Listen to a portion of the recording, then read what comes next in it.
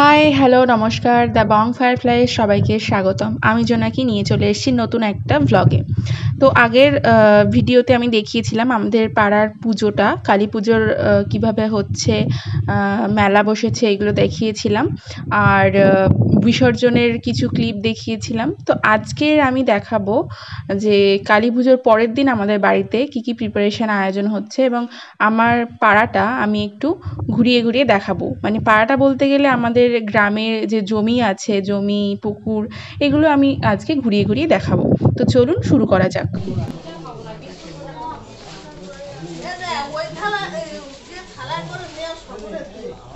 এই যে পুজোর পরের দিনকে প্রসাদ আনা হয়েছে।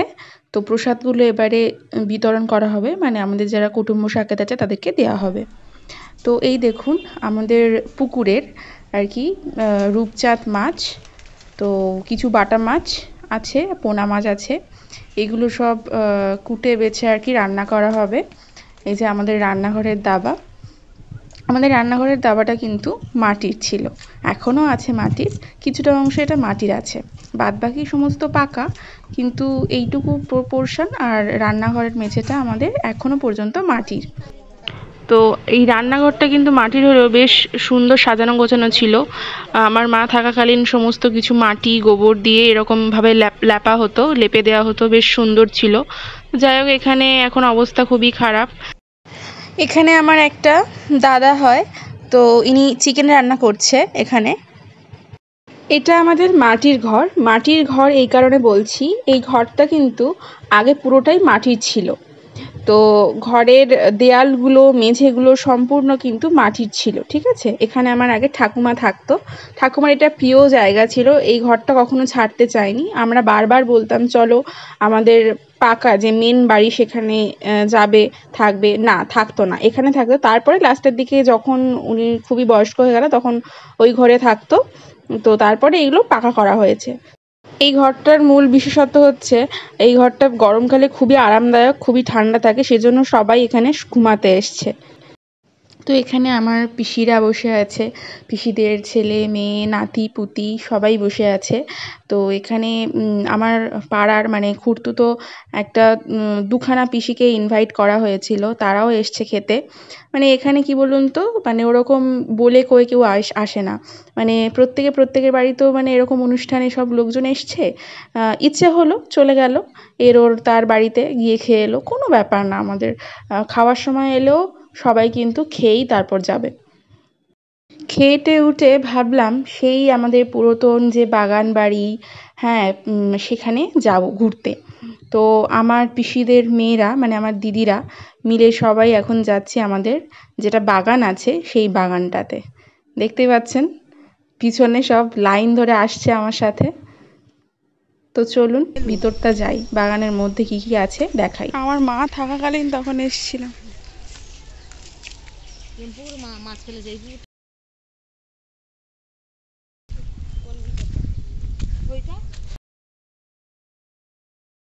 আমি জানি না কতটা দেখাতে পাচ্ছি আমি বোঝাতে পারছি বাগানটা কত বড় কিন্তু বাগানটা আমাদের বেশ বড়। অনেক গাছপালা আছে মেহগনি গাছ আছে ইউক্যালেপটাস আছে খিরিস গাছ আছে আম গাছ আছে নিম গাছ আছে তো সমস্ত গাছ আছে আর কি। এই গাছগুলো দেখছ এইগুলো সব আমফানে পড়ে গেছিল। তো অনেক দিন পর আমি আবার এলাম ঘুরতে। ভীষণ একটা নস্টালজিক ব্যাপার লাগছে। কারণ আমি আমার মার সাথে এই জায়গাগুলোতে খুব আসতাম। মা এখানে শুকনো পাতা গুঁড়াতে আসতো হ্যাঁ জ্বালান করার জন্য। গ্যাস তখন ছিল, কিন্তু গ্যাসে অল্প রান্না হতো। আমাদের রান্না হতো উনানে। তো সেই জন্য এই এত গাছের পাতা নাতা দেখাই। এই দেখো, এপারে এই যে পুকুর আছে।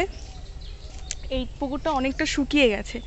এখানে বাজে মাছও আসতো মানে কই মাছ, মাগুর মাছ, শোল মাছ, এইগুলো। আর দেখাই।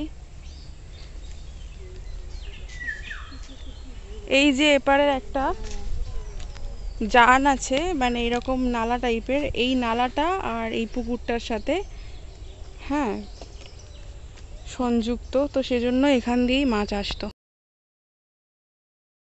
বাই দ্য ওয়ে আমি বাজে মাছ, কই মাছ, ল্যাটা মাছ, শোল মাছ বললাম বলে ভাববেন না। মাছগুলো বাজে।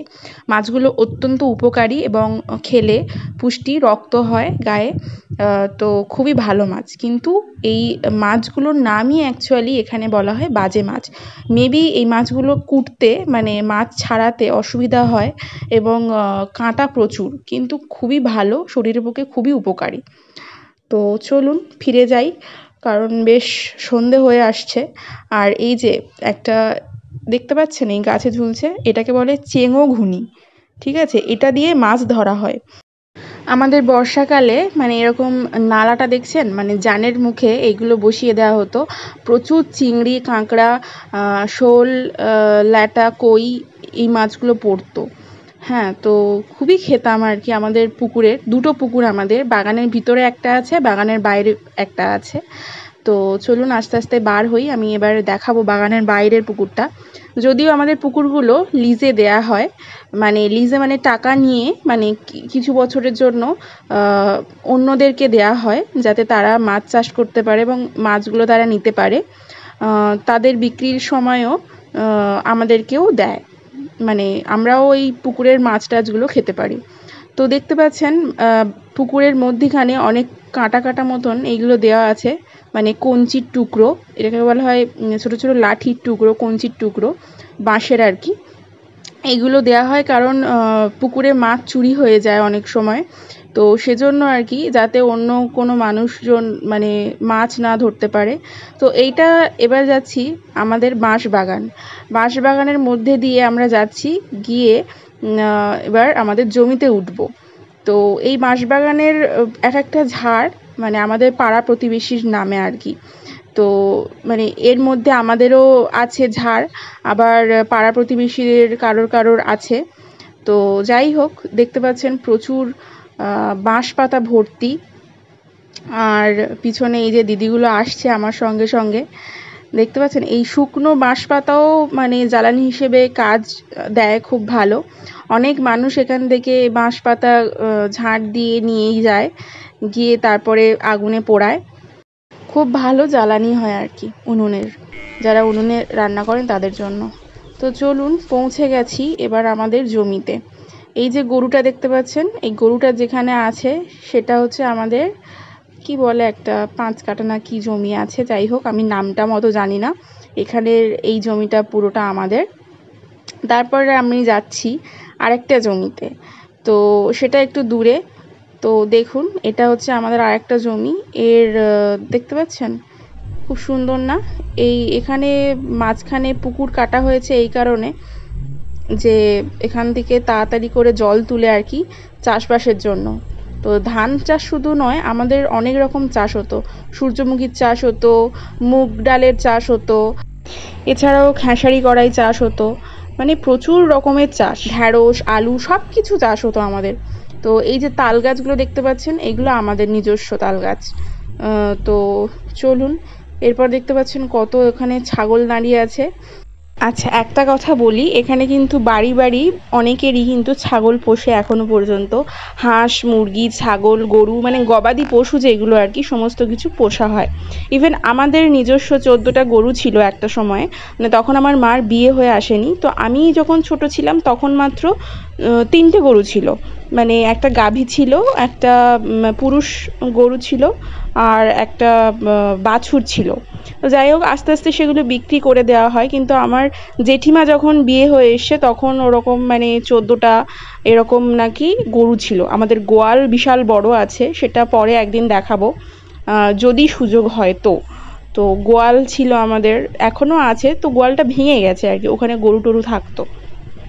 তো সন্ধেবেলা করে, বিকেলবেলা করে বিকেলবেলা করে মেনলি দিয়ে আসা হতো। আবার সন্ধ্যের সময় নিয়ে আসা হতো। সকালে দিয়ে আসা হতো। মানে এই জমিতে ছেড়ে দেওয়া হতো। হ্যাঁ ঘাস, এই ওটা, এটা সেটা খেত। তো অনেক অনেক খাটতে হয়েছে আমার মাকে অ্যাকচুয়ালি তো মানে শুধু আমার মা বলব না, এই এখানে গ্রামের মানুষ যারা প্রচুর খাটেন। কিন্তু অ্যাকচুয়ালি আমার মা তো এখানকার নয়। মানে আমার মা শহরতলি টাউনে বাড়ি ছিল। কিন্তু একটা মেয়ে যে এভাবে মানিয়ে নিতে পেরেছে নিজেকে পেরেছিল সেটা আশ্চর্যকর লাগে। হয়তো আমি হলে জীবনেও পারতাম না। তো তো যাই হোক এবার আমি দেখাই খড়। এই খড়গুলো কিন্তু কাটা হয় ঠিক আছে? এই খড়গুলো কেটে জ্বালানি করা হয়। তো আমাদের লোক ধরে এই সমস্ত নাড়া খড়গুলো কাটানো হতো এবং বাড়িতেও বয়ে আনা হতো। এবং আমাদের এতগুলো জমিতে যে চাষবাস হতো, সব কিন্তু লোক ধরেই করানো হয়। তো যাই হোক, এবার চলুন আস্তে আস্তে আমি এবার অন্য একটা গ্রামের মাঠের পথ ধরেছি আর কি। এখানে চারপাশে দেখতে পাচ্ছেন তো প্রচুর গাছপালা। আর দেখতে পাচ্ছেন ওই ওই যে একটা ছোট ছোট গাছ দাঁড়িয়ে আছে, ওই জমিটাও কিন্তু আমাদের। গরমকালে না দেখো কত মানুষজন এসে এরকম জমিতে বসে থাকে মানে একটু হাওয়া পাওয়ার জন্য, এটা কিন্তু একটা সুবিধা। আমিও আসতাম। এবার দেখো আমার পিছনে অনেক মানুষজন আছে, এরাও বেড়াতে বেড়াতে আসছে। আমাদের গ্রামটা ঘুরিয়ে ঘুরিয়ে দেখালাম, কেমন লাগল অবশ্যই জানাবেন। আমি একটা পাতি গ্রামের মেয়ে যেটা দেখালাম। তো চলো গাইস ফিরে যাই, কারণ অনেক সন্ধে হয়ে গেছে। সবটা দেখানো সম্ভব নয়। যতটা পেরিয়েছি দেখিয়েছি তোমাদেরকে। আমার ভিডিওটি ভালো লাগলে অবশ্যই অবশ্যই লাইক দেবেন সাবস্ক্রাইব করবেন। টাটা